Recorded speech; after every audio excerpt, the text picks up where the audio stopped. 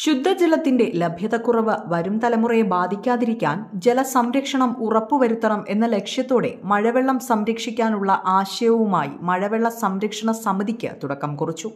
ഓരോ പുരയിടങ്ങളിലും മഴവെള്ള സംരക്ഷണത്തെക്കുറിച്ചുള്ള ബോധവൽക്കരണം നൽകിക്കൊണ്ടാണ് പദ്ധതി ആരംഭിക്കുന്നത്.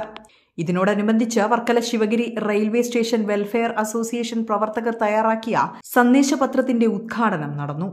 ശിവഗിരി മഠം പ്രസിഡന്റ് സച്ചിദാനന്ദ സ്വാമികൾ Varkala Sivagiri railway station superintendent പ്രസന്നകുമാറിൽ നിന്ന് സന്ദേശപത്രം ഏറ്റുവാങ്ങി ഉദ്ഘാടനം നിർവഹിച്ചു.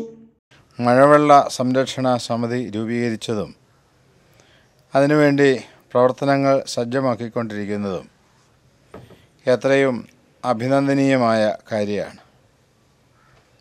ഇനി ലോകത്ത് നടക്കാൻ പോകുന്ന യുദ്ധങ്ങൾ വെള്ളത്തിന്റെ അഭാവം കൊണ്ടാണ് എന്ന് ശാസ്ത്രജ്ഞന്മാർ തന്നെ പറഞ്ഞു വച്ചിട്ടുണ്ട്. മഴവെള്ളം അമൂല്യമാണ്. ആ വെള്ളം ഒഴുകി സമുദ്രത്തിൽ ചെന്ന് ചേരുന്നതിന് പകരം ആ വെള്ളം സംഭരിച്ചു വെച്ചാൽ അത് നാടിനും നാട്ടാർക്കും വലിയ അനുഗ്രഹമായിരിക്കും.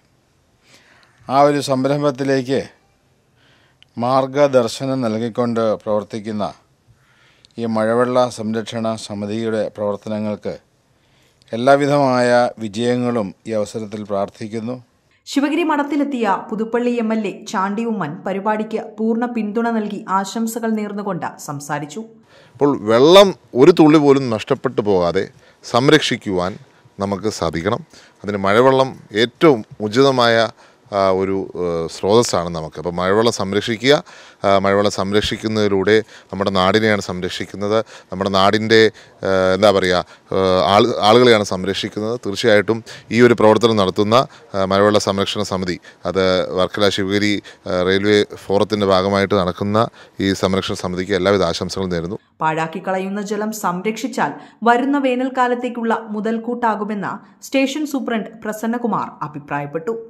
ഇന്ന് രണ്ടായിരത്തി ഇരുപത്തി നാല് കണക്കെടുക്കുമ്പോൾ ഈ വർഷം മഴ വളരെ കുറവാണ്. അതായത് രണ്ടായിരത്തി ഇരുപത്തഞ്ച് ഉണക്ക് കാലത്ത് നമ്മൾ വെള്ളത്തിന്റെ ജല ദൗർലഭ്യം അനുഭവിക്കാൻ പോവുകയാണ്. അപ്പോൾ ഇനി വരുന്ന മാസങ്ങളിൽ രണ്ട് മാസം മഴ ഉണ്ടാകുന്നതാണ് കണക്ക്.